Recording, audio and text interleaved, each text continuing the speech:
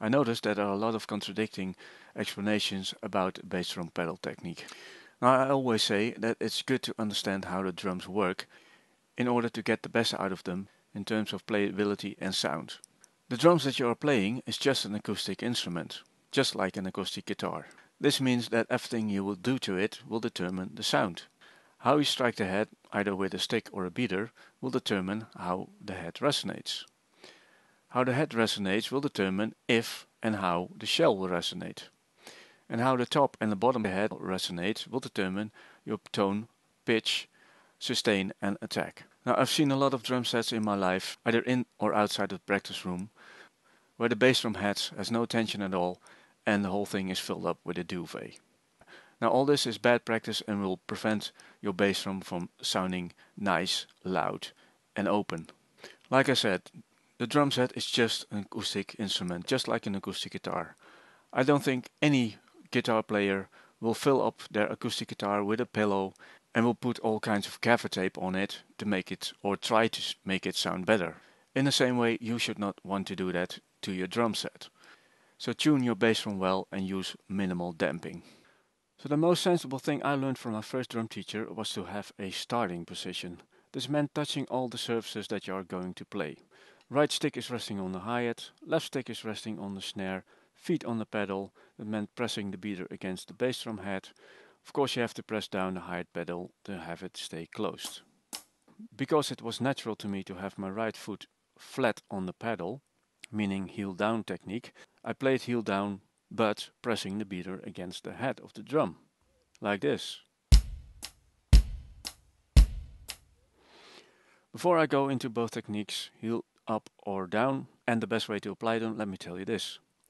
When you start in a down position, then when it comes to play the first note, the hi-hat and the bass drum, you can move them up both at the same time and move down again both at the same time. But if you're pressing your beater against the head, then your right foot is doing something else than your right hand, because your right hand is going to bounce, but your right foot is going to press and hold down. So it's better to bounce your beater always, no matter what technique you're using, like this. The bouncing is because of continuation. You, just like you have learned to bounce your sticks, because it's better for the sound and better for control and greater ease of playing, it's also better to bounce the beater of the bass drum. And when you look at it, it makes the best sense because now you're doing exactly the same thing with your right foot as what you're doing with your right hand. You hit and you bounce, instead of your foot doing something else than what your right hand is doing. Now for the breakdown of the two techniques. With the heel down technique, you place your foot flat on the pedal. You keep all your muscles relaxed, not pressing down or not holding it up.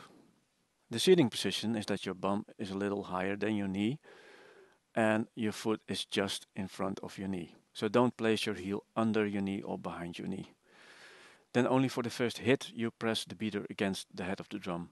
And when it comes to hit the first hit you move both right hand and right foot up at the same time and down at the same time and you bounce. starting position, bounce. And after the hit with your right foot, you just relax all your muscles. So if you just play a simple beat, then you only play on the 1 and the 3, so you have lots of time just to relax your muscles. So that also will prevent fatigue.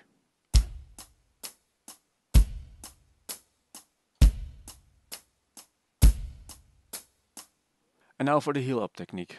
When you use the heel up technique, you immediately break a sturdy tripod and you're messing with your balance. When you play heel down you have three points of contact, namely your bum on the stool and your two heels on the floor.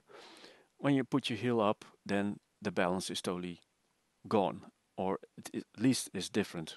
But for the seating position it's exactly the same. But now comes the right way of playing the heel up technique which actually means you play by lifting your heel up and your leg up instead of holding your heel up. So the starting position is exactly the same as with the heel down. You have your foot totally on the pedal and you press the beater against the head for the starting point. Then to strike the first strike you lift up your leg but you keep your foot as level as you can. I'm just lifting it up so you can see what I mean. So instead of pressing your foot down and keep it down, just keep your heel on the pedal and you lift up your foot. And then you just stomp on the pedal and when you hit the beater against the head, you relax again, just like with the heel down technique. So now the beater can bounce and you play the heel up technique. In this way you gain two things. One, you are mimicking again what your hands are doing, hit and bounce. And two, after hit, you are ready to play another hit by doing basically the heel down technique. So following the heel up with the heel down, you stomp, bounce and hit again. This is what you can call the Moeller technique with the right foot. Now with both techniques you can still bury the beater in the head, in the case you want the bass drum sound softer and shorter. Now this is the correct way of playing the heel up technique. It's also the way you would play a splash with the hi-hat with your left foot.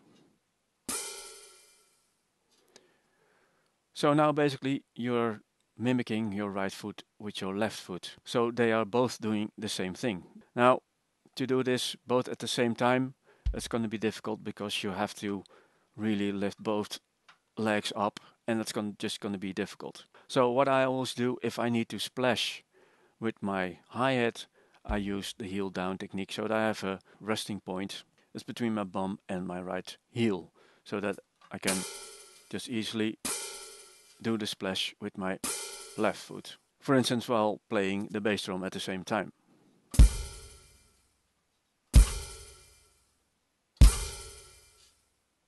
So with a beat with a double bass drum pattern, that means just two bass drum hits in 16 notes followed after each other. It would be something like this with the heel up technique.